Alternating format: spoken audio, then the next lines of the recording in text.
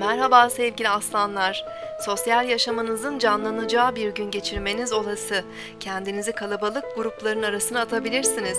Ancak kalabalığa kaynayıp gitmeyecek, kendinizi ön plana çıkararak insanların sizi fark etmesini de sağlayacaksınız. Bugün 22 Temmuz 2014 Salı, Mars günündeyiz. İkizler Burcu'nda ilerleyen ay, meraklı ve değişken enerjilerle günümüzü hareketlendirebilir. İletişimin yoğun olduğu bir gün geçirebiliriz. Kısa seyahatler, toplantılar, telefon ve mail trafiği artabilir. Sabah saatlerinde Ay, Balık burcundaki Neptün'le kare açı yapacak. Zihnimiz biraz karışabilir ve belli bir konuya odaklanmakta zorlanabiliriz. Unutkanlık, dalgınlık ve yanlış anlaşılmalara karşı temkinli olmalıyız. Yengeç burcundaki Merkür, Oğlak burcundaki Plüton'la karşıt açı yapacak.